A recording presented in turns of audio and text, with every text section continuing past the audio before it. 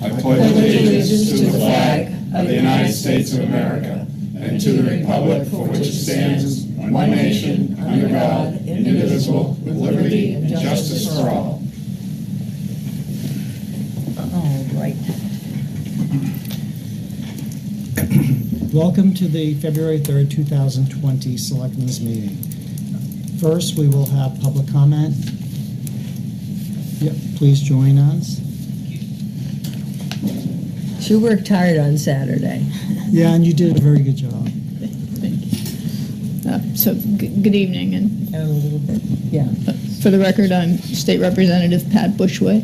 Um, And I just wanted to take a few minutes tonight to talk um, in a little bit more detail about um, Senate Bill 629 that I think, um, you know, we had mentioned a little bit. um, And I, I think I just wanted to add a little bit of clarification. I don't have a lot more information on it, but I just wanted to uh, share with you what I have found about it. Um, So the, the purpose of the bill is to establish the Sa- Solid Waste Reduction Management Fund.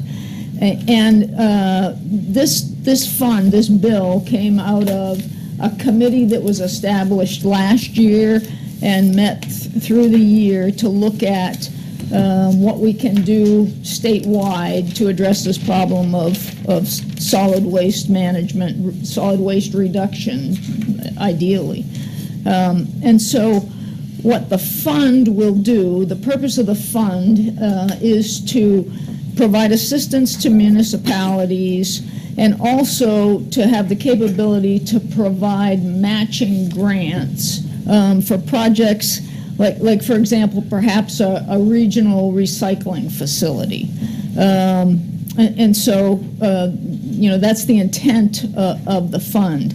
Now, the money for the fund um, will come from a $1.50 per ton surcharge uh, for uh, all the solid waste that goes into uh, a landfill, a New Hampshire landfill, to an incinerator, or to a, um, a waste-to-energy facility. Um, And so, so that, that will be paid by the municipalities. Um, in return, though, the, the plan is it will be paid in and then it will be returned. Whatever gets paid in by the municipalities will get returned. And so, you know, my question, I went back to the, to the drafters of the bill and said, so where does the money come then for the projects? Yeah. Well, it, it, the, the surcharge is applied to everybody. And there is a significant amount of uh, waste that comes from out-of-state entities. Um, Perhaps as much as 50% of what goes into our facilities comes from out of state. So those entities will also pay that surcharge. So that's where the revenue is generated, because obviously that's not being returned to them. It's just the New Hampshire municipalities that are having the funding return. And the reason they had to do it that way is because, uh, because of the interstate commerce clause in the Constitution. Um, To put a surcharge just on out-of-state entities uh, would interfere with interstate commerce, and that's, it violates the interstate commerce clause. So that's why it's set up the way it is with it, you know, the money comes in, the money goes out. Um, So, and, and I understand that, you know, that's, that's the intent, and, and, you know, I know that there are gonna be concerns about, you know, how it will actually play out, um, but, but that is, and, uh, you know, I talked with, Mr. Welch and I talked about it today.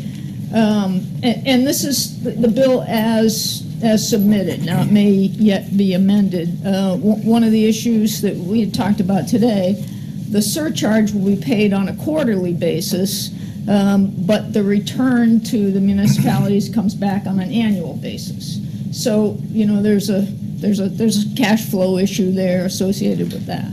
Um, So, so again, I don't know, um, you know, it's, it's, this is, it's, it's, in fact, I think it's being heard for the first time tomorrow uh, in the Senate, if anybody's interested. That hearing, I think, is at 9:45 tomorrow in State House 103.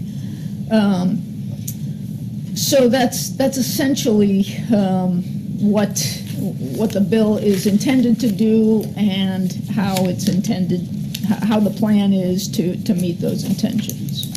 Thank Um, you.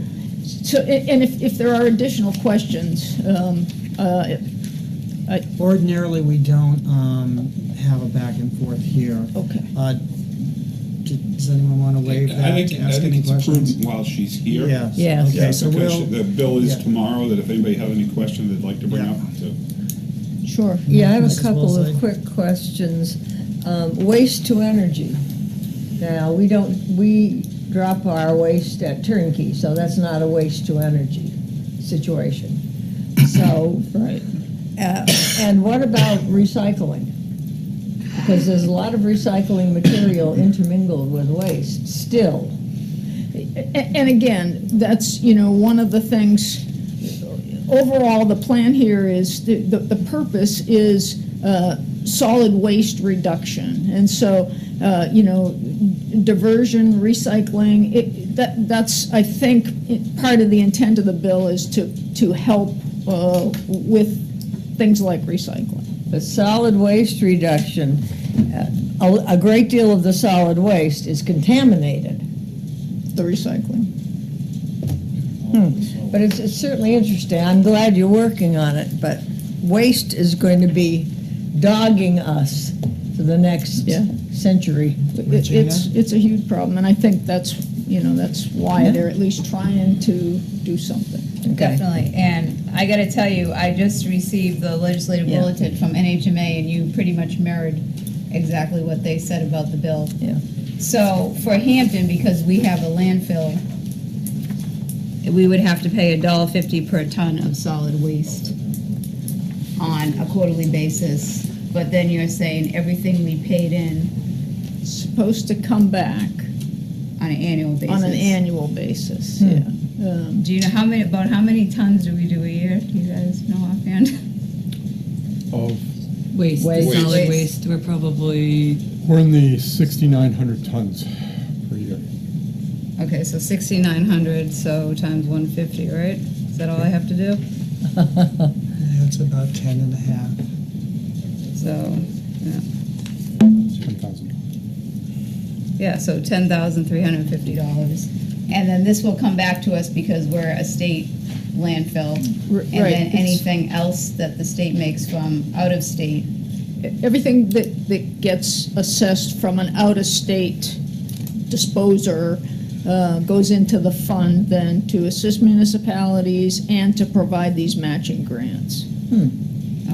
Okay. A- And, and, and, uh, and I, in fact, I may have read it, there was somebody may have told me, um, y- y- part of the problem is, or in, in our case, you know, why we, we need to do this now is we're getting so much out of state because I, I think the surrounding states do have a surcharge. Um, and so it only makes sense that we would, um, so, Jim? Hundred percent comes back? I'm Or sorry? comes back in, hundred percent of what we pay in comes back, or it comes back in grants and assistance? I'll ask that question. I- I Yeah, because don't- that's another that's case a- of, of, Yeah, you know, good no question. home rule in New Hampshire, you know, and money just coming out of the town, going to the state, and then the state deciding what's gonna happen with the money, which, Yeah. So which your is- question which is is, a real negative. right, so your question is, if it came back in a grant, would that then be deducted from that amount that you would? Or would it just come back hundred percent to help the town with, with their waste disposal? I- I- I'll ask if the, Yeah, how the grants. what's gonna come back, what's? I mean, it is supposed to come back. Hmm. um, that- And I realize there's, you know, there's concerns. Rusty? But well, I- absolutely, there are concerns as, as they do with the school tax. You know, and it- we give out a lot more than we ever get back, and I, I just think that, that's gonna be the big concern. If it, if it goes out and we're gonna get it back, how are we gonna get it back? And I think that's important. Yeah, and if it's possible that some improvements are made somewhere along the way, it's a small amount of money. Um, If it helped educate the public in any way or anything like that, so I'm not sure if that's the type of direction those grants would go to. But It it is, because, I mean, it- I, my understanding, the grants would uh, provide, they're matching funds for a project, but they're also s- to provide municipalities with assistance, um, you know, for, you know, education and Yeah, well, for, that's you know, something that I implementing. think that this board is uh, wanting to look further into, is more about the education, or continuing the education. It's been difficult in the past. Mrs. Rick, uh, Wolfson? our- our Public Works Deputy Director, I think, has a I question. just want to ask a question, because Yeah. it goes right to what Jim was uh, just saying, that, you know, we pay a dollar fifty, it's going to go on top of whatever our tipping fees are to get rid of the trash. And I'm hearing it correctly, we're going to get a dollar fifty back a ton in some form, which was Jim's question. There's two different things going on. If that 150 is straight for straight, and it comes back in and it's a source that goes to, let's say, the town's general budget, not the DPW operating budget, that's just one thing. But then those extra funds that are collected from the out-of-state um, fees, those could be uh, used to help us obtain grants to promote X, Y, Z. That being the added benefit of this thing, but making sure that we get that 150 back, dollar for dollar, is to me the essential part, because otherwise, it just costs us more. Don't hold your Subject to breath. appropriation. Right. Well, we'll be looking forward to more information. Yeah, and I will Mrs. see if I can get Yeah. clarification to make sure that the, that the grants don't have an impact on getting back what you paid in, because that's, my, my read of the bill is that's the intent, but that's, Yeah, that's one- my Intent. interpretation. One more quick question. Uh, What's the state going to do about the waste as a result of the Hampton Beach State Park? The waste that is Okay, stuck that in has this nothing to do with this. Oh, well, it, No, no, it it's, doesn't. No, it it's doesn't. money. We're, we're, okay, this is public comment, And- Mrs. and we Wilson. are Thank you handling very that much for waste. coming in tonight. We appreciate it. Thank you. Thank you, Pat. Um, Further public comment? Seem to talk a lot of trash here, don't I? Chuck Rage, 121 Ocean Boulevard. Um, I did come to talk trash, but I also uh, noticed that uh, Selectman Griffin decided not to run, and I want to thank him for the 15-plus years of service as a s on the Select Board. Thank you. Very much appreciated. I, I, I applaud Jen and Chris coming up with some solutions and coming up with ideas with the board. Uh, I think we're in the right direction. I do think that there is some more that we can do. There's more that we have to work together on. I would like to get a list together of the certain amount of uh, businesses that are going over that number, and maybe we can work some way for a solution, whether it's a monetary solution or something, but we need to make sure trash is taken off the beach. So I really uh, applaud what you're doing, but I want you all to work hard and uh, get some more solutions. Thank you. Thank you, thank you very much. Further comment? Good evening. Good evening. Um, Brian Provincial. Um, I applaud what the board's been doing with the trash. I think we're getting a little hung up on the bins. I think that I'm well in favor of Article 34. I think that that's going to help a lot. I think, I don't think, I know, trash reform has to happen. It has to happen in the town.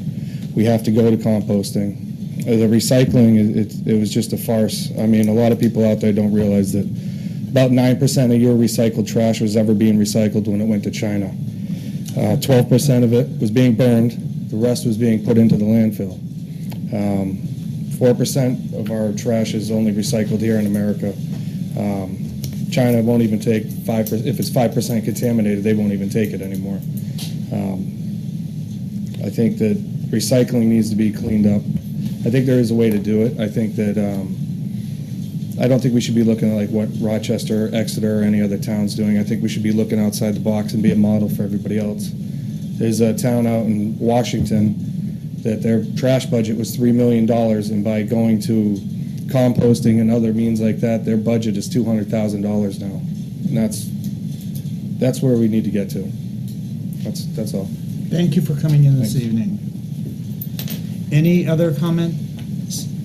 Seeing none, we'll move on to our important uh, first, only people tonight. All right. um, just some background information. So, a couple of Mondays ago, when the board uh, made the decision to go to uh, a maximum of 10 carts, it, it did start a number of things within the department. The first one was to, uh, we had I tasked Mr. Hafey with coming up with a list of, um, we already had a list of those with more than 10 carts, but the question initially asked, uh, or charged him with is, well, how many of them are still actually putting out 10 carts? Um, Because it's the off-season and not everybody may be putting out 10 carts. Right. In other words, how big was the issue before I decided to send the troops out to uh, attack the, the problem? Um, Came back that, you know, so, only a few people had out more than 10 carts, but still, we, we stuck with the board's um, decision, and that was we picked up just those 10 carts. Uh, We got about four or five calls. Hey, I had out 15 carts, what about the other five? Yeah. there's tomorrow, or there's Wednesday, because some of these, especially down at the beach area, we still are down there several days a week. There again, those businesses that produce um, what we call pu- putrescible waste, food waste, something that would stink or rot. We're- We're down there more often picking up those containers, try, in an effort to keep the beach clean uh, and not smelly and things of that nature. After the board's meeting last Monday, uh, when I got there Tuesday morning, um, it was imperative, uh, apparent to me that after reading and listening to the- some of the board's comments and the comments that we had been receiving, that it was becoming on us as a department to say, okay, how are we going to deal with this? Um, Many, many times, um, every time we, I have an an initiative, uh, I'm always reminded that Mr. Sullivan always wants me to draw up a standard operating procedure. And essentially, that's what my staff and you were asking me for, is how are you going to do this? So, um, spent all of a day and a half. um, It, uh, something like that had been started and stopped over the last five years, probably just that many times, five times. Um, So we do now have a standard operating procedure, and it's for one, for determining out who and, who gets carts, how many they get, um, what is the process. Um, I didn't release this to you tonight, because to be honest with you, um, from the team approach, I need to have Jennifer and the rest of the solid waste staff vet this document, because sometimes my fingers and my thoughts aren't exactly the same. And they always catch me on these things. That's why we have a team. Secondly, I actually came up with a checklist, so I watered this document down to something only about two pages, that you just have to literally ask questions, is the physical address on a named street or way? Um, Is there sufficient area to store 10 carts? It takes about 30 feet of of curb line to, so those, those questions are also being vetted by, the- by the, the rest of the staff. Um, From that resulted in, I knew if I gave out that information, it would generate more questions than, than, than answers. So then I surmised it down to the memo that you, you have received uh, as staff, as uh, the board. Um, In hindsight, I realized that this should have been done two directors ago, Yeah. Probably between the March 11 town meeting and the July 1 issuance of carts. And that's why it wasn't that daunting of a task to put something like this together, because it literally had been started and stopped a number of times. Uh, it- This, the SOP and, and the process of doing it is influenced by four things. We have, of course, our Chapter 761, our solid waste regs. The board had made a decision way back uh, April 11 of 16 with respect to condominiums, limiting it to five units. Um, We had another discussion back before the, with the board. I remember when Keith sat here uh, about collecting on private property. We had a list of, uh, we probably had a much longer list, but there was about a dozen properties where we said, don't please don't go on those properties again, because for insurance and liability reasons. And then, uh, back, uh, because the thing did spin out of control, back in May of 18, I released uh, a card application, so as of that date, no cards get released without either my signature or Jennifer's signature on top of uh, the, the two gentlemen that lead and run the transfer station, the foreman, yeah. So there's a process that we definitely have in place, but we basically codified it or have brought it to a, a level here. The reason being, and I think what we need to keep in mind is, what's the ultimate goal here? When I first came to the department, I remember many, many times having discussions with staff that we were a service-oriented group. That the Department of Public Works was there to serve the residents of the town. It's- It wasn't, there was in some respects an us against them mentality. It creeps in. Um, It needed to change. If you take that, that we are a service department, we are here to serve the residents of the, of the community, then doing it in a manner of when we consider safety, the ability of a place to store their carts, our actual collection vehicles, the rules that we have in, in place, for instance, like 75 pounds per cart, per container. If you take all those things into consideration, the path is, I think, fairly clear. Um, Safety being probably, from my perspective as the director, one of the most important things. For instance, the reason why there's 75 pounds per cart is we don't want people injuring themselves. Either, you know, let's say a cart falls off the cart tipper. If it's much more than 75 pounds, it's going to crush some toes. They don't make safety boots that strong. Um,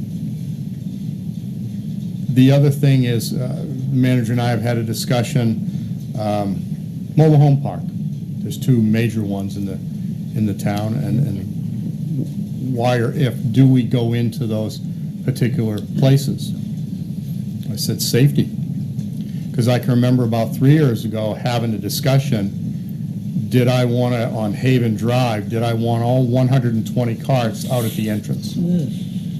I said, for safety reason, no. My biggest fear is that if the carts were out there early in the morning, um, we hadn't arrived yet. um, It's also a bus stop area, I'm sure. And if there's little kids playing hide and seek between the carts, it's uh, an accident waiting to happen. So there's been a number of decisions that the department has made for safety reasons. We either do or don't go into uh, certain properties. So the reason why I bring that up is it comes back to this determination. And if we safely can't go into some of the properties that are on this list, some of them are condominiums, some of them are like the, uh, like the mobile home park, part of the recommendation will be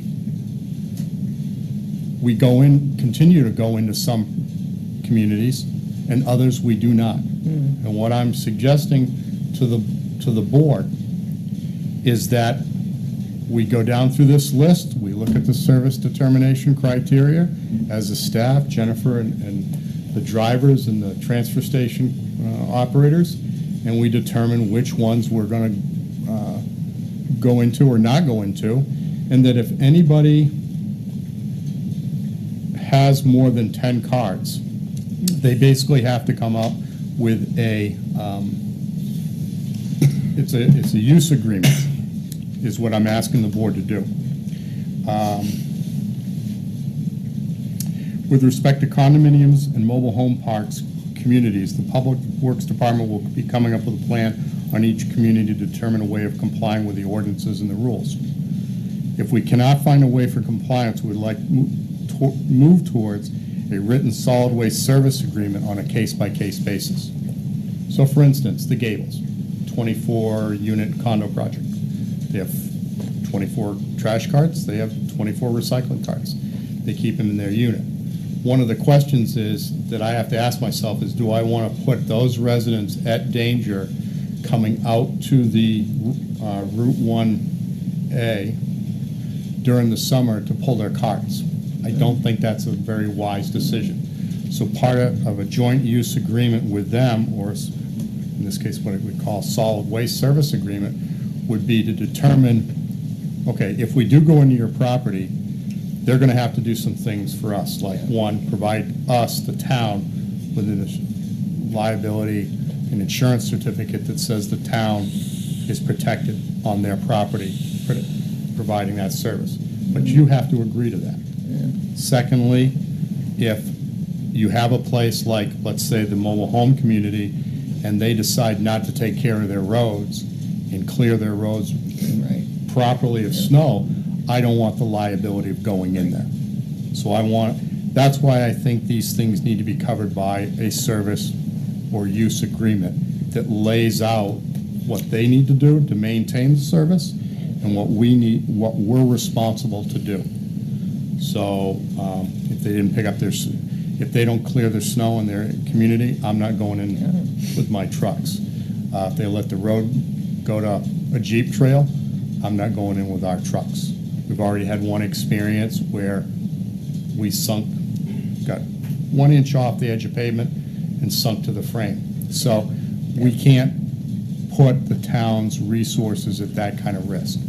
But I think we should look at each one of these uh, places uniquely, uh, individually, uh, with the same criteria. But with consistency, and that's where, it would- when you were finished, that's where Yeah. it was going. It's Yeah. going through each of these properties and realizing that we've got to be consistent on the way we choose. So in the Gable situation that was just given as a, for example, for you guys to consider, that is something where our uh, vehicles currently go on to that property because it is multi-units, multi-building, and has the room for us to go on to it.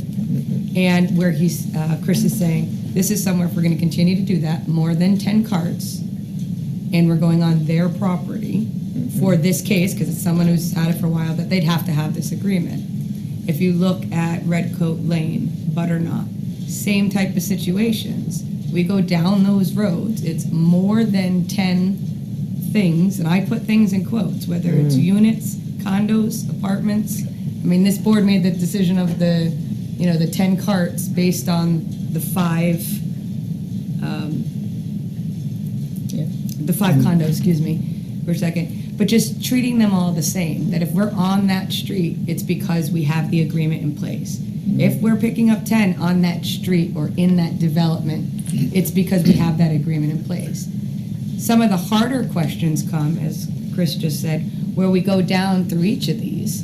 And in the email that I had sent over um, in response uh, to your last meeting, th- there's some examples of scenarios there that are just different. Um, Chris didn't get to it, but one of the last recommendations in what he had uh, put out is that asking the board to, again, um, recommend, well, we're recommending that you make a motion that requires all residents and businesses to put their address on their cans. The street, everybody. Everybody has to. So we can start, so every, I, I- I'm assuming everybody knows that the serial numbers on the cans are about Yes. this long and consist of numbers, letters, and things. It, it doesn't meet with the eye when you're like, like, who does that belong to? One of the things that happened when we did go and and enforce the 10 cart is that we found carts sort of getting spread out amongst different places. Again, it's a slower time of year, but having the address on the cart can be preventative of that. You know, that we're picking up 10 uh, Ashworth Ave, and I'm making up numbers obviously, at 10 Ashworth Ave, not at 10, 12, and Yeah. 14 um, that, that we have that area defined. It also helps because we get, one of the other scenarios that I had on here, people that see that we're on Ashworth more often in Ocean and other places uh, because of the frequency, because of the restaurant waste. Eh, I missed it yesterday. I'll take my cart up to Ashworth. Uh, they'll start bringing all their carts Yeah. up to or down to the bottom of the street. And then what happens is it gets mixed in with a business who actually only had 10 carts out. Now we have 14 carts right in front of the one business, but we're only picking up 10. Again, the addresses can help uh, with that scenario. But we do have other situation where we have, you know, more than five units, so more than five, and I'm gonna, I'm, I'm gonna be the big bad wolf here, I'm gonna, I'm gonna say the word condos, that we can't go on their property. We currently don't. They bring their barrels to, say, Ocean Boulevard. Carts. There are seven units. They each have two, so it would be 14. Do we just, is the, is the direction of this board, we're picking up 10 of those 14? And, and the- and these are part of those 77 lists. Um, Those are types of establishments that have them. And then obviously, uh, the business examples, you know, some businesses need more or want more than 10, and that we have to address, you know, in a different scenario. But so, when Chris was saying the use agreement to go on the private roads and, and having something, and I had used the word grandfathered in my email, but it's through agreement. It's through the fact that we're putting our equipment on private property, but then also making the decision to be consistent. If it's more than five, does someone who is 7 mm-hmm. get 14 cards, or are they just getting 10? And we're doing that across the board, because that, I mean, that's what comes up. Questions, Mrs. Woolsey? Oh, yes. This is going to be, uh, this waste problem in general is going to be haunting us for years to come. Uh, Number one, I see no reason at all, and we've gotten ourselves in this, in this problem piece by piece over the years. How many communities, Chris, in New Hampshire pick up commercial waste? You know, I can say that I've honestly not looked into that, and, and I'll tell you why. Hampton is unique. Yeah, well, There is no other community that I'm aware of that has a strip of land adjacent to the beach that has yeah. that density of people during the mm-hmm. summer and has the um, density, and and it's, and it, I don't, can't blame anyone, you know, it's, it's what makes Hampton unique, you know, uh, I can remember when dating my wife, and she's, let's go to the beach, okay, but I want to stop at Blinks. In other words, it, it's, it's, it's unique to Hampton, and you, you can't apply any other communities or rules to a, to a Blinks, you know, or, or the, or the Christie's Pizza, or, so, I haven't looked at other communities, because I think we need to, to deal with Hampton. Now, as a policy, if this board wants to change how commercial is collected, well, that's up to the board and the voters.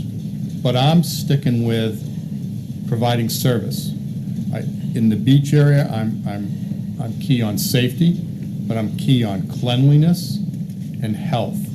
Because we've seen when you jam that many people into that tight of an area for, could be weeks on time, you, you're gonna have some unique issues. Mm-hmm. And so we're unique in that respect, so I can't compare us, I can't even compare us to Portsmouth.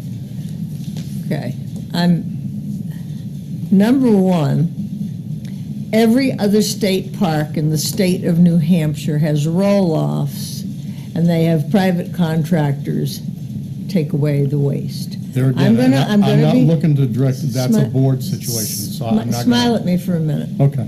Okay. Um, We have businesses all over this community that should be using private vendors to pick up their waste. We've reached a point in this community where we're stressing you out. You're having problems even hiring employees because nobody wants to work anymore. You are stressed to the breaking point. We are paying on these expensive vehicles to pick up waste and pick up waste and pick up waste. we have reached a breaking point where I, as one member of this board, feel we should discontinue, discontinue all commercial waste pickup by the town. That's not what we're here tonight, though. We're Well, here we're tonight- talking We are here waste. tonight for Stop enforce- interrupting no, me, and we we're here not- to clarify what our situation is. What our And you need to sit situation and- is, is terrible, We're and not you, and changing- and We're not, you, we are not changing anything tonight. We are clarifying. I'm not saying you're We gonna snap your clarifying. fingers and change it, but we need to discuss Well, that's what this. you need to discuss. We We're- need to They discuss are here this to discuss what they've commercial, been working on. and commercial that's- waste pickup. That's We not have, what we, we've already made a decision, I'm not Mrs. through yet, and I'm tired of being interrupted. Well, We have, need to address we have here for. commercial businesses in this community who pay to dispose of their own waste. And they are being taxed because our Public Works Department is picking up. Mrs. is Woolsey, we are here to do the clarification of what our system is here. Our system is broken. Okay, we've already We're discussed that. broken. We've identified that, and we And are we here to working on a identify- solution. Mrs. Well, we're not Woolsey. gonna have a solution Regina, if do you we have any don't discuss questions? it. Yes. Okay. So this is what I'm getting from all this, that we have, like everything in Hampton, all these different things going on that no other town or city in the state or the country can probably relate to. And luckily, we have Chris and Jen, who are trying to find a way to get the limit that the board implemented in the beginning of January to work. So when I read the email from uh, Jen Hale that she sent to us last week, a couple of the first things, some properties are now taking their extra cards and spreading them out between various properties they own.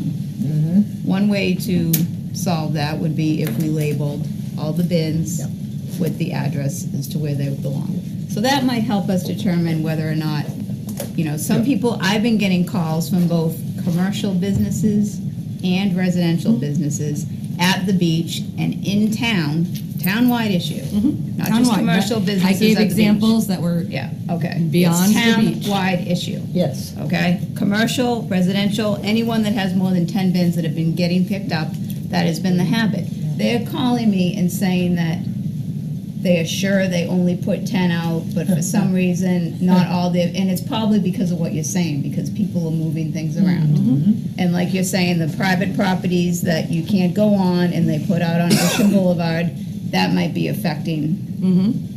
The limit and what the public works guys see when they drive by One hundred percent. and so right now it's getting enforced, but it's not getting enforced properly because we have all these seventy-seven different properties that have all these different situations mm-hmm. going on. We had a couple people speak at public comment, and we all know that this is not gonna go away, it's only gonna get worse. And I feel as though Public Works wants to enforce the limit that we implemented, but they need to mm-hmm. Figure out exactly what the standard operating procedure is going to be. And for clarification, when I make a motion to do something, and I didn't specify this, and maybe I should have, all the other times that we make a motion to change a policy, we see the policy revisions mm-hmm. before they mm-hmm. get implemented. For some reason, that didn't happen last time. So going forward, as long as I sit on this table, that's what I will be expecting, is that before something gets enforced, that we see the revisions. That is normally what happens. For whatever reason, it didn't happen. I don't, not blaming anyone, but that's, and then, you know, now we get all these calls. And it's not just commercial businesses on the beach. It's residential and it's townwide. So I appreciate everything you do, and I am, if the board chooses so, I would definitely be ready to make that motion that all um, carts that we have issued out do have the property address on them. Yeah, wherever, wherever, you- would you think that that address should be put on the carts, right on the It should front? be on the front of the carts. Um, The location, street number that the card is assigned to serve should be painted or otherwise marked on the front of the cards in a max, minimum of six-inch high numbers or of a contrasting color. For example, white or yellow numbers contrast well against green and blue.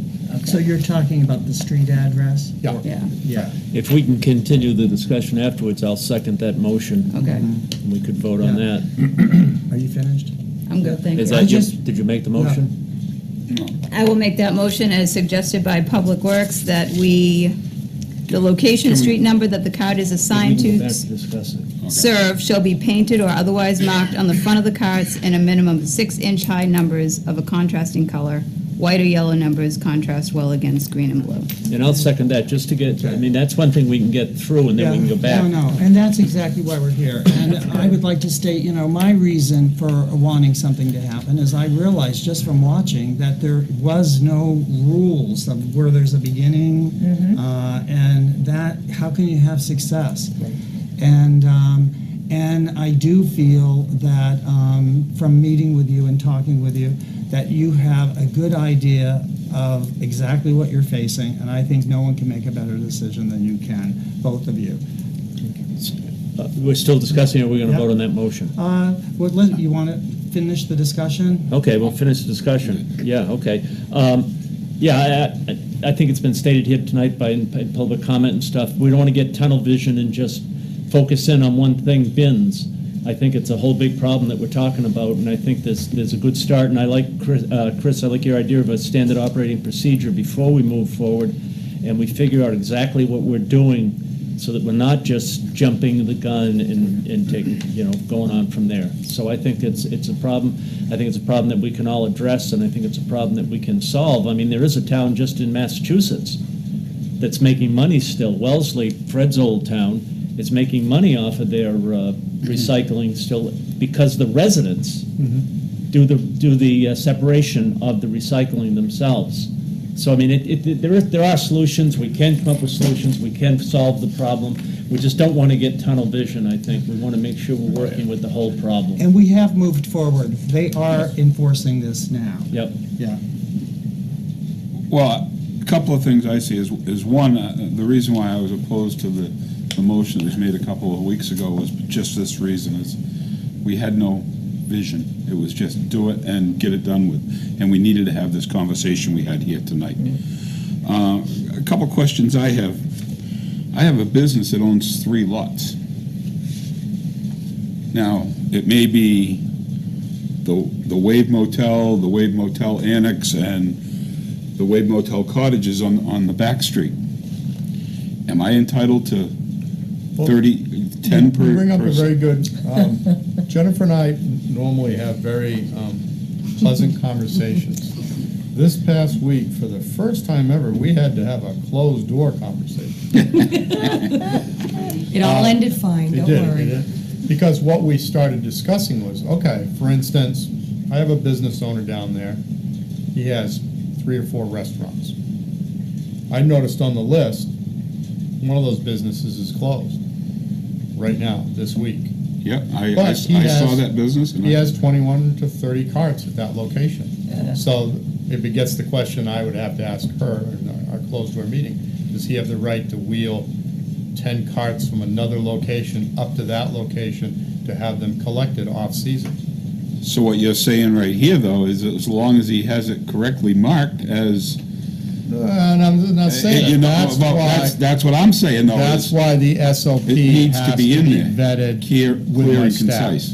Because. Exactly. Okay. And that's what I'm saying, that's Then, because, then the other question that. Well, wait a minute, I want to understand. He's got the carts when they're marked. He's not allowed to move them across the street. no, but he can That's put them in front of the intent. business even though it's closed.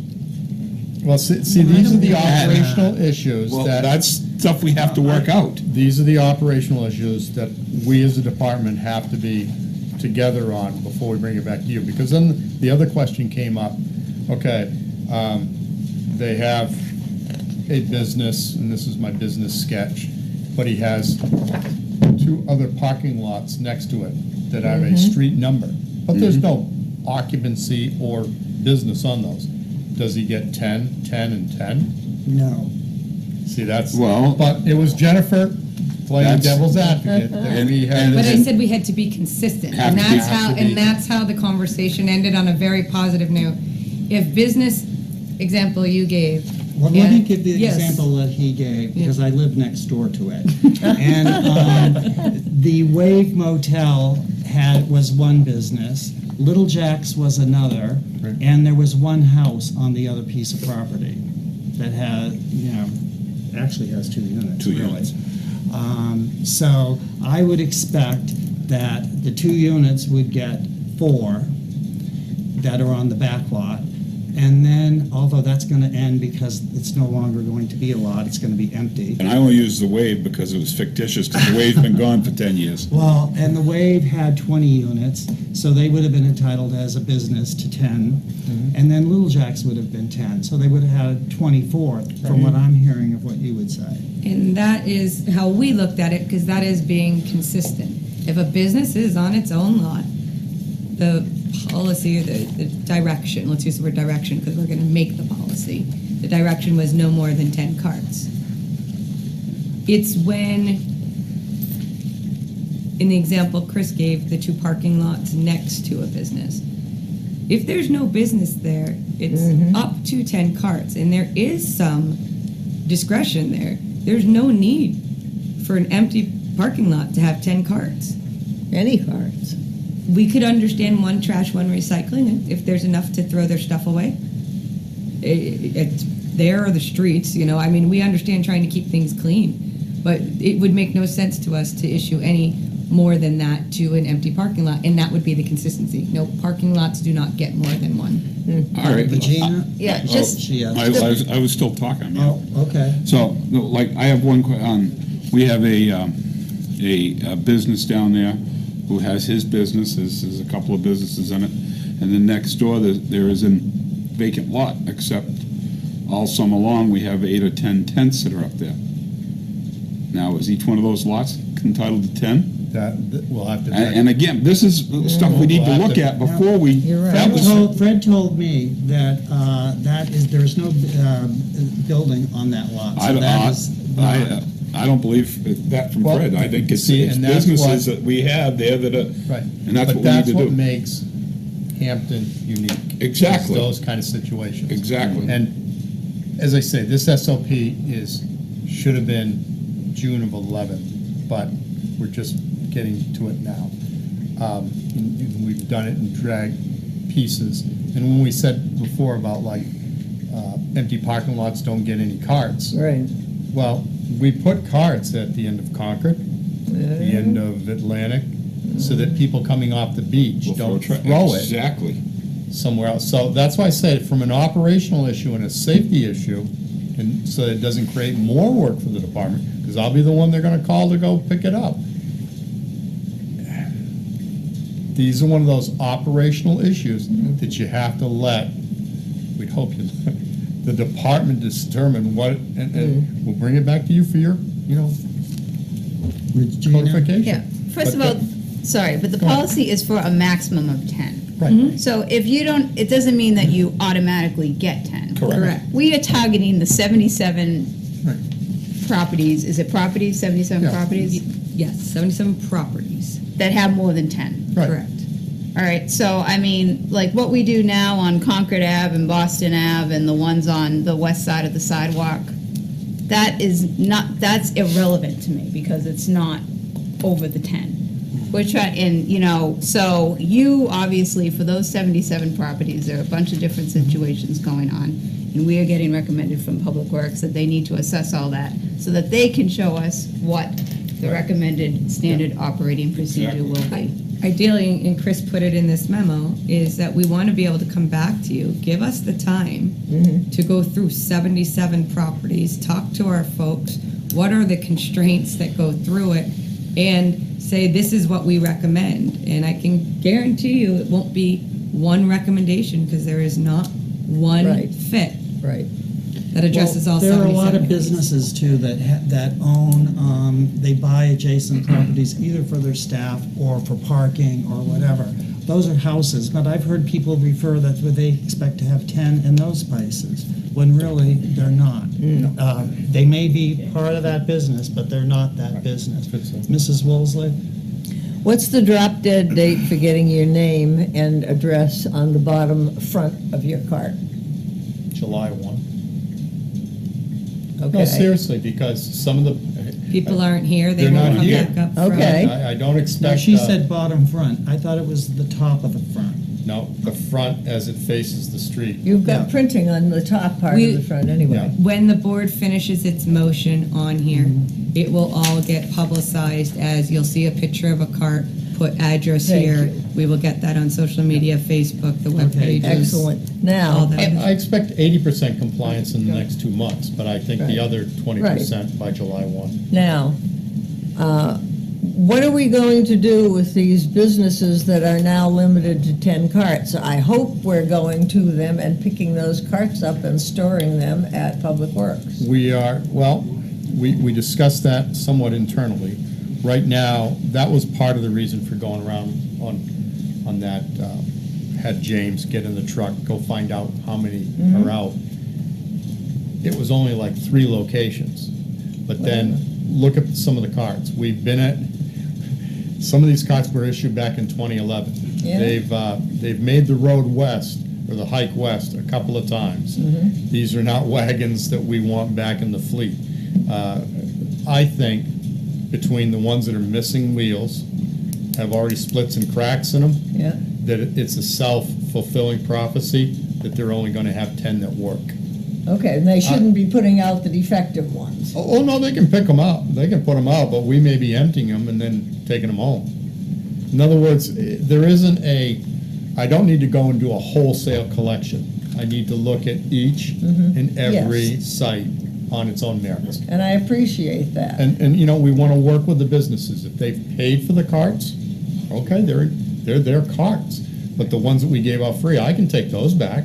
I mean, and we gave out a number free. We Free didn't ones are start. the only ones they can take back. Right. Because the other people paid for them, and that's just the way it is. But are, is the town willing to, uh, if those people just want to surrender their, their carts, the town would pay for them? We're, we're, we'll work with these people. I mean, mm-hmm. certainly, you know, there's, yeah. If, if taking them back then saves us from me having to buy more, it's to the town's benefit. So, mm-hmm. yeah, I'll get them back, but, um, a lot of them, I think, are worn to a real, Yeah, Yeah, mine are splitting now. exactly. The So I think, part. that's, we're, that's why we had to quarter carts this year. We're seeing a number of people that like, the cart can't make another trip, so. Mm-hmm. Rusty? Yeah, and I, I, still think we got some work to do on that whole part of it. Excuse me, Mary Louise? um, do. You're right, Yeah. exactly. I can- And, one- and one of that is, we've been picking all this trash up, yeah. and after, now we're limiting it to ten. Mm-hmm. What do we expect those car, to happen to the rest of those carts in that trash? Some of them will get, some of the carts will get redispersed, some of them I'll end up picking up. Some of them are just already worn out. But what about the trash that, that, the volume that What's- is still there? What's gonna happen is, let's say you're the kind of bus, so you've got ten carts. You can decide, do I wanna save my carts for filling them with cardboard? Do I wanna put my putrescible kitchen waste in them? Or do I wanna fill them with glass? Mm-hmm. I think you'll see as a, a a reasonable response to this, hey, I'm gonna put my, uh, I'm gonna buy a glass crusher, okay, for one guy. Another guy's gonna say, hey, I'm gonna force my kitchen staff, and we heard this from the solid waste committee, that, um, they're going to, uh, segregate their cardboard a lot better. They, as a matter of fact, they wanna know if they could just bring it in, in a pickup truck and give it to me, okay? Um, so every business association group, they're gonna have to do, they'll do it differently. The condos that, let's say, they've got six carts for trash and four for recycling, because we're not telling them what mix they can have. These people are gonna realize, okay, we're all gonna mix our, our cardboard, our recycling back in those containers, so it wouldn't be, everybody doesn't get their own special container. Um, so I think you're gonna see the- with the 10, with respect to the 10, that it's going to cause people to examine how they do things and decide what is the most important waste stream, portion of their stream they want the town to pick up. The other part of it, I, we're already seeing businesses that bring us a, a load of cardboard on a Sunday night or a Sunday afternoon or Monday morning. So- Now, one of the, one of the things that came out of that committee was the possibility of having a cardboard dumpster or maybe a glass dumpster down the beach. Right. To do that, has there been any more thought to that? Yes, that's why the warrant articles that started the recycling fund and the with the seed money that was in there, that's In where the that. transfer station study, allowing us to do purchasing to be able to rework the areas and how we That's why I want people to know, they're gonna be able to, they're still gonna be, have a way to get rid of some Oh, of this stuff. definitely, right. We need, we, we just can't say, we're cutting it off and screw the rest of you and, and They're don't cutting do it it. off at 10 barrels, Well, and, and the, the, Carts. the uh, comment was made earlier, and I forget who said it, that, you know, this is, uh, this is, you know, we're- this is gonna, we're gonna be plagued with this problem for twenty years. This is like, to us, like wastewater. It comes in every day. Yep. Okay? It's never gonna go away. It's what we do. And yes, as people's, um, personal practices and habits change, as the market changes to maybe, let's say, less packaging, less cardboard, maybe no plastic, less glass, we will modify, change, and adapt. And these policies are forever always going to be changed. The Yeah, biggest, and I was going to say, you know, I, again, Hampton is unique, but so is Portsmouth. And you know what? Yeah. Portsmouth doesn't pick up any commercial trash. But people have had to work Uh-huh. the other way Right. to, uh, you know, to uh, make sure they don't make as much trash. And I'm not exactly sure what they do, but there are people here in Hampton that have businesses in Portsmouth, and they can see these things. Yeah. I think the purpose, one of the main reasons to make some of these changes is that people are more thoughtful of what they do with their trash. But for years, people have been throwing stuff in the tracks, tra in their truck and running to the dump or whatever. If, you know, and if you have a business that makes more than 10 barrels of trash, you should be doing that, in my opinion. Oh, the Mrs. bit- Woolsey? Uh, We'll go ahead and finish Rusty, and then I'll, you know, the biggest thing I see is, is the one thing we're gonna need out there is some education. And we need to spend more than a dollar twenty-nine on education. You know, I looked at, uh, I, I saw an article the other day, and it it was, uh, uh, one of the c- cities in, uh, I think it was Philadelphia. They spend six hundred and sixty thousand dollars a month on education for trash. Obviously, we're not gonna spend that. And, and, and if we had that to spend, we, we couldn't even do it. But the fact is, it was that important. We gotta educate people on what to throw away and what to put out there. And if we have a place, encourage people, encourage the beach businesses, and I think this was part of the, the committee was to, to get away from all the glass beer bottles. You're never gonna get away with glass. Vodka comes in glass, the gin comes in glass, everything comes in glass. The pickles come in glass, the olives come in glass. But try to limit the be- glass in the beer bottles. You know, and I, I think that's a great way to go, and I don't know how we, if we can mandate that, Well, but And- I think we should be able to was work with our businesses to get them to do that. And the solid waste committee, in the end, decided that that's why the town should hire this outside vendor, probably Waste mm-hmm. Zero, to come up with a program to how to solve that particular problem and a host of other problems. I tell you, the, the, uh, the Budweiser delivery will love it because they can haul twice as many beer cans as they can beer bottles. And so they're gonna, they're gonna like that part of it, so, and uh, same for hauling and getting back. You'll, I'm sure, get more money for aluminum than you do for glass. So, Mrs. Woolsey? we could probably go back to prohibition. you may, Um, The, I don't remember that far back. I, st- I still uh, look at two factors here, and you certainly have the most challenging job of anyone in this entire community. You, and you, you're both wonderful about what you're, you're working on.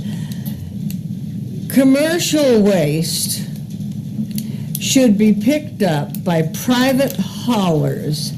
There's no problem with giving business, because you'd be giving business to private individuals, and I think uh, America is built on uh, businesses succeeding.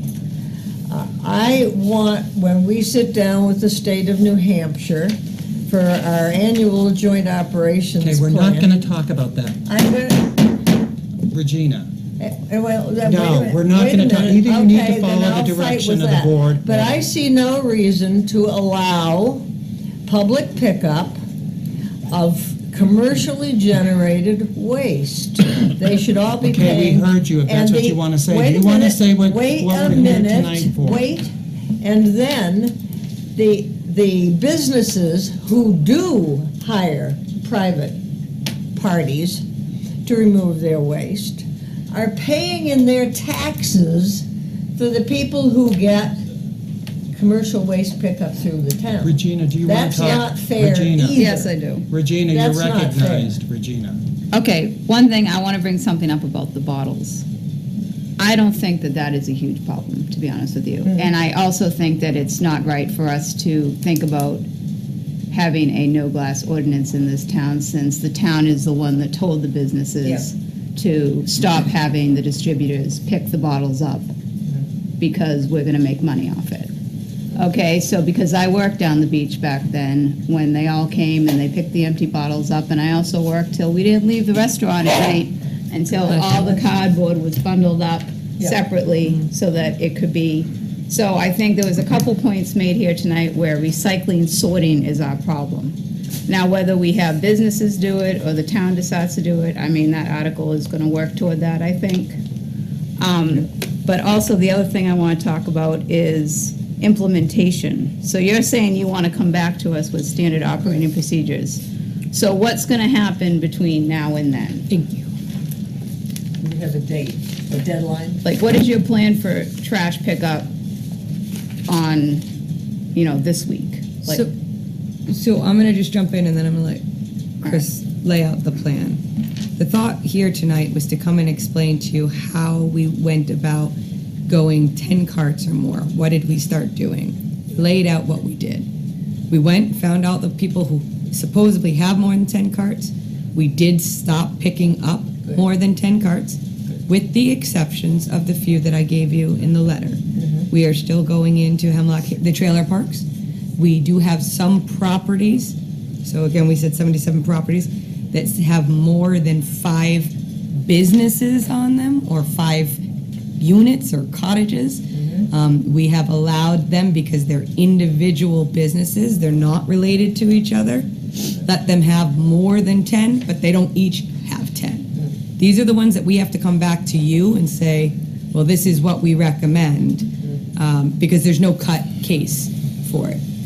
There are some that we haven't really touched on tonight. I gave the um, example of the condos that's seven. You know, if we're going to only pick up 10 from them, there will be two homeowners that call because their barrels will still be full. And there's no guarantee each week we'll get the same two homeowners not emptying their barrels. We, we just can't do that. That's not how our operations can work, is spread out. Well, do we continue, go with the policy of 10, and let them realize that you had asked, you know, what are they supposed to do with the trash? Well, if their neighbor's one isn't full, throw it in that. I mean, if we have 10 half-empty barrels, why pick up 14? But, so there's a little bit more direction we need tonight to, to still be implementing no more than 10. But that's what we'll put in the policy that will come back to So you. they're already doing what we've asked them to do. As far as I understand it, I spent some time talking with them, and that's not going to change. They're going to continue to do that, correct? Correct. What you're doing If, right now. if that, if that's what you want, and just Yeah. knowing that there will Yeah, be they've been unhappy doing it, residents. From what I understand. right, but if it's so unclear as to whose carts are what, I don't understand how we can only Not implement Not every case for is some properties and not them all. Because you're saying there's all these exceptions. Mm-hmm. Well, some of them are from, that they go so far back, it was before there was any regulation, and that's why they pick up those particular ones. Other people have it that's already stated in their condo docs that they're not being picked up, so there's no question there. There are a few hybrid ones, and um, I think um, really people should go in and talk with them and ask, because they can explain exactly, they have a reason for that trailer uh, park of why that has to be picked up. So, so, so address the answer of schedule, you know, what's our time frame? Uh, I checked with Fred this morning, I'm due back here for uh, further consultation with you on the 24th of this month, uh, in the term, form of a quarterly report. Um, I would like to, this, to fin- finish out this week, working on the document internally with our staff, then turn it over through the manager's office to have legal department look at it. I certainly don't want to say or do something in the SOP that is Yeah. against law. Um, I want it to be supportive. Um, And then I would think we could have it after um, legal's done with it, it could be released, Fred's dis- discretion to, to the board to, for uh, your comments before we make it, or ask you to vote on it. And we can revisit this issue on the 24th. Rusty? The one thing I see is, is I think every one of us here want to see us get to 10 carts. I think that's ultimately what, Yeah, what I it was. think 10 carts is a good, However, right now, you have a, you have a vote, a vote of this board that stop at 10 carts. Right. So if you're going over 10 carts and you're not doing what the, the board technically has asked you to do, Correct. and that puts you in a very bad bind. And that's, that again goes back to my reason for not wanting to do it tomorrow when that vote was to do it. But let's get to work with them to do it. So I think we need to either look at that vote that we've already had and work with their timeline so that they're not feeling the pressure of they're going against what the board wanted. That they aren't. I, it- as far as I understand, this is what they want too. It is what they want, but the, bo- the board says right now for the, the one place like she mentioned that has 14 carts, Yeah. if, if, if, if you're gonna stick with that vote, then she has to tell them they can't pick up four of those carts. Personally, I feel like you should tell them they can't pick them up. And Because there we're are looking 14 for that- carts, I think it if- shouldn't If that's the happen. direction, that's I- where we that- can That's what head. I think. It should was my happen. motion that I made, so I'd like to speak on it when everyone Yeah, else is done. okay. Thanks. Well, let's let the town attorney speak. He wants to speak. Yeah, uh, Jen, unfortunately, you opened the door for me anyway on a subject. I review condominium documents all the time for conversions of existing units uh, to condominiums. And so the direction I got from the board was, if it's no more than five units, we'll continue to pick up. If it's more than five, you won't at all, regardless of the number. Right. We don't That's I issue- Did I get that right? Right. And so the 77 or so exceptions you're, or situations you're talking about, all are where we uh, had picked up before, and now we need to know what to do. This, Is that right?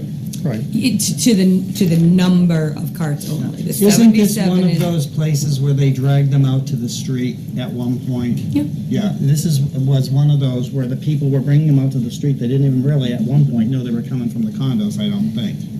But, are you finished? Yeah.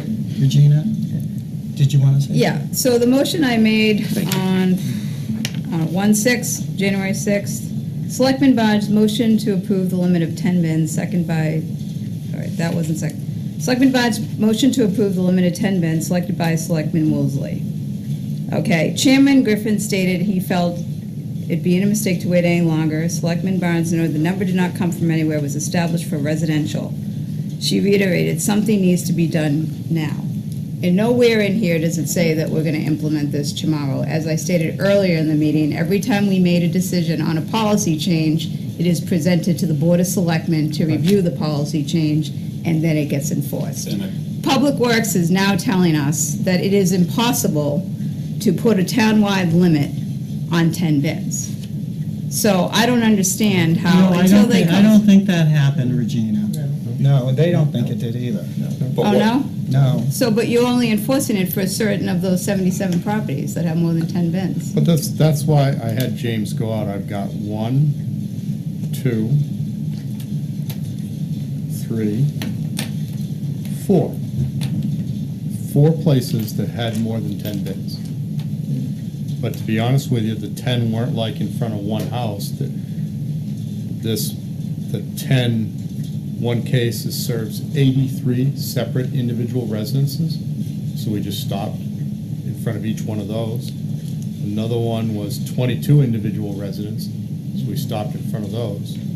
And another one was 28-unit condo project that I mentioned earlier, that had 25 carts. But Um, again, I'm, s- I'm still missing where the policy revision was presented to the board that we're now implementing. There was I no have- policy. It it was Right. never prevented, because he didn't even have it. He hasn't had it. Even But if you look later on in the minutes, and if it's not there, you look at the tape, it was stated that night that it wanted, it- the, the question was asked of when we were gonna implement this, and it was tomorrow. Yes, and I Right. agree. That's what was That's said. exactly That's what what was was said. said. So And it that's- was you said, and agreed to it, everybody- Regina, too. And, and three people agreed to that. Yeah, and I think it should be that way, true.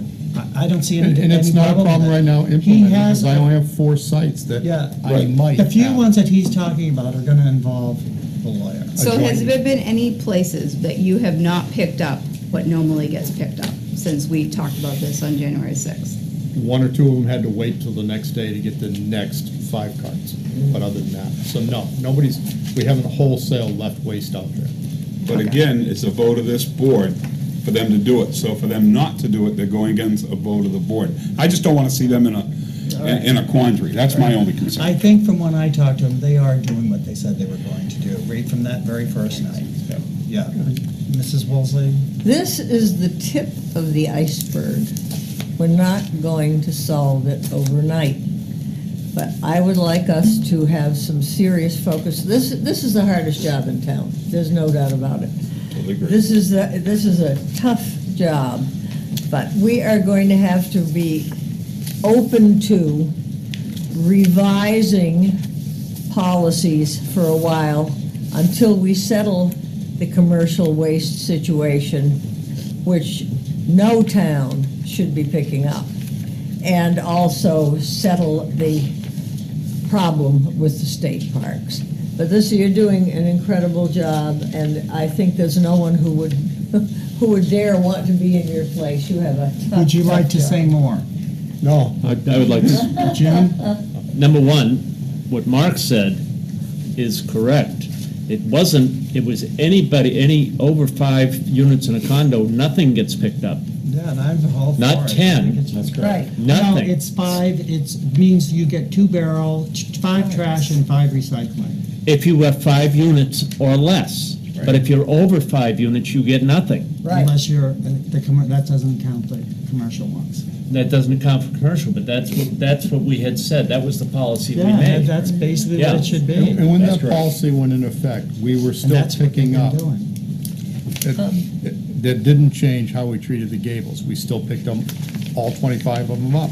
Right. It didn't change Hemlock Haven for us, and it didn't change Four Seasons But it did change some, It did change some, because you right. did pick them up, at- and it doesn't matter to me. Right. But you did pick them up at my condo. Right. Because it was over five units, Right. which was no problem, because that was what Yeah. we said. But I mean, and I think we have to know what we're doing. We have to know what Well, we're and doing. that's- So they pick up all your trash? No, nothing. No. They used to Yeah. pick up just recycling. We used to Oh, give yeah, out all right. recycling. And then when we said five Yeah. or, or less, then they took the recycling back, which was fine, because Yeah. that's what we had said. But it's gotta be consistent, and, and we Well, gotta give them a chance No, to and I develop think it is it. consistent, Exactly. and, you know, he's, they, that Gables is one of the oldest condos, and they evidently were before their, you know, there was probably in their, what do you call them, when you build a building, your Yeah, Condo well, docs. condo docs. Yeah. Condominium documents for that particular project are the only condominium docs in town that guaranteed the builders that the town would pick up all of their trash. And see, that's why they have to stick with that. They've already got agreements. Wh- Who makes a hundred agreements and then doesn't stick to them? You know, and just change 30, 20 years later. But that one is beyond the scope of the time. I would like to ask, you know. The others were all told they wouldn't be picked up. Representative Bushway has been very good about following up on town issues, and I would like to ask her, if we could this evening, if she can do a little, just a little talking around Concord and see how many communities in the state, or just get a little percentage, how many, many communities in the state pick up commercial waste. Mrs. Wilson, we know, none. That's beside the point. That's not why we're here. Uh, So, uh, Well, that's sending a let's draw, message, let's isn't bring it? this to an end. With none. Any, good. yeah, so we are uh, on board with doing it just the way Hang you've on been. one minute. Yeah, Are we doing the names on the thing? yes. Number- Oh, oh, yeah, we on the didn't, card. we didn't, vote. yeah. All those in Take a vote. favor of putting the names on the As of bed? what date? Names and addresses. Uh, What date? As determined by the public DPW, health. as determined by DPW. As It's the determined. street, And street number No. pursuant to the, what I put on the. He memo. just said he expects it in the next two months, and certainly for people that might not be here at this July time of the 1st. year by July 1st. We're So gonna within we're gonna two work with months, you. July Okay. 1st. So all those in favor, Thank you.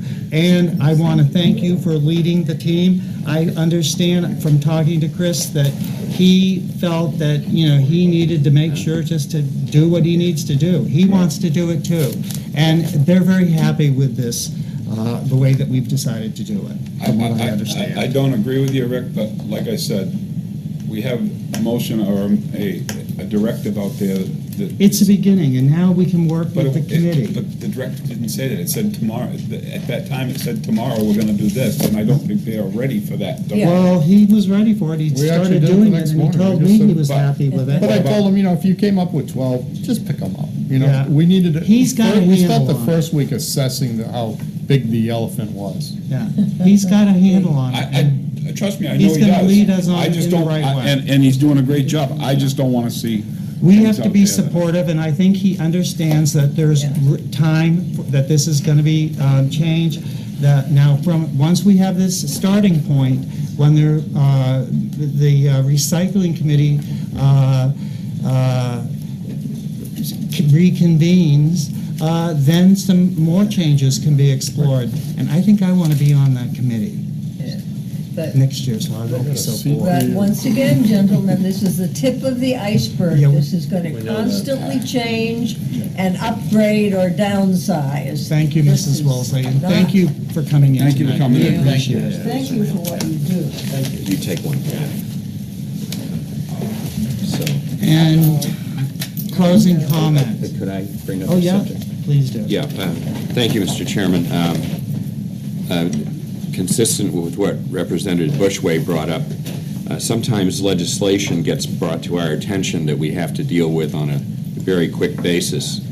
Um, In this case, I'm talking about a bill brought up in the NHMA legis- latest legislative bulletin, which is the bill that would prohibit regulation of short-term rentals. This is Senate Bill 458. It's scheduled for a hearing on Wednesday, February 5th at 10:15 up at the Legislative Office Building.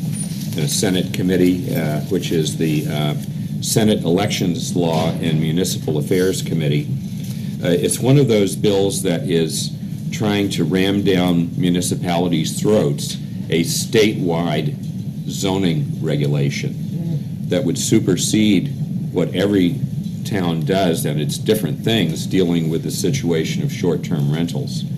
Uh, Portsmouth you, has been in the news with a particular case that went to the New Hampshire Supreme Court, and the Supreme Court upheld Portsmouth's uh, uh, prosecution of a certain case where people had bought property and, and then turned it into a short-term rental place.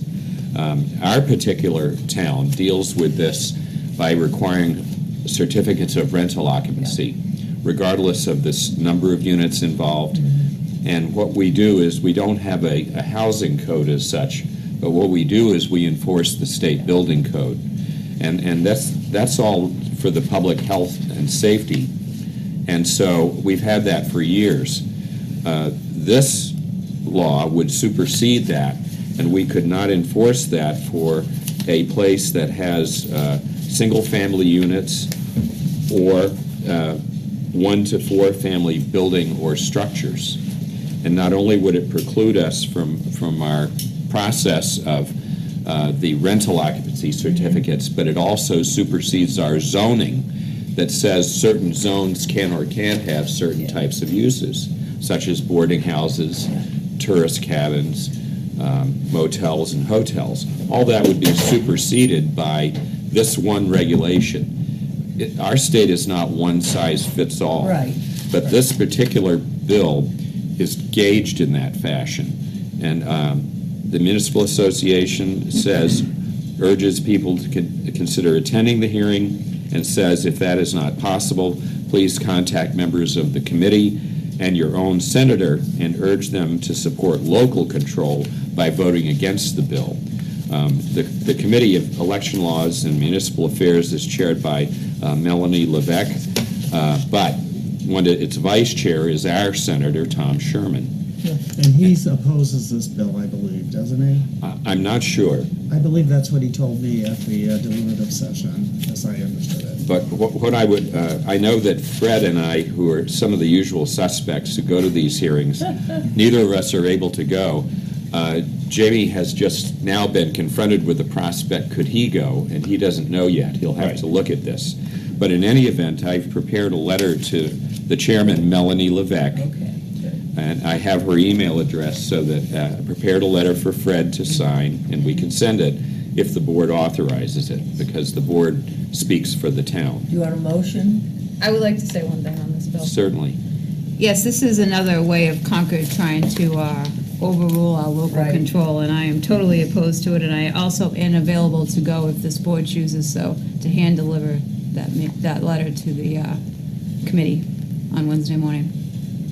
Do you want a motion from the board, or do you think Fred's letter will suffice? Well, I, Well, I- if she I- wants to go, she should just go. yeah, I think, Yeah. I think a letter from Fred also says. Yeah. if she And I- Well, from the whole board, I can Yeah, bring it. Right. Yeah, Yeah. and Tom Sherman is against this. I believe I even read it in the paper. Okay. Uh, uh, He, agre- he made a statement that he agreed with the same. He is, a- yeah, I know, and he also is opposed to the Housing Appeals Board that Yeah. Concord is trying Yeah, to the- uh, yeah.